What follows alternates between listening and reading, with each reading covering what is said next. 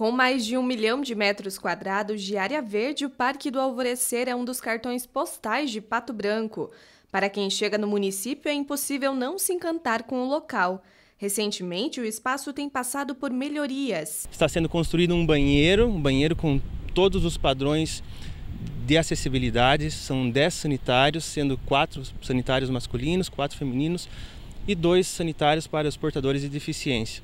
Então a gente está construindo isso. Em breve vai ser concluída essa obra que vai facilitar muito, vai ser na entrada do parque, então é muito fácil o acesso à, à população, né?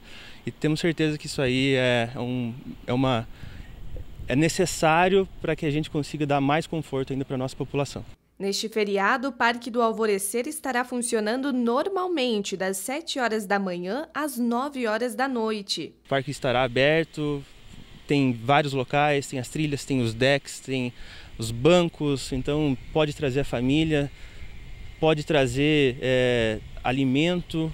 Aqui nessa área da frente do parque, no entorno dos lagos, é possível trazer uma pipoca, uma fruta, um chimarrão. E é só importante frisar que a gente não pode alimentar os animais aqui, né? A gente não pode estimular que eles fiquem independentes da alimentação humana. E aqui eles têm muito é, alimento disponível, alimento natural, frutas das árvores do próprio parque, então é só não alimentar os animais e poder vir curtir aí um feriadão com a família.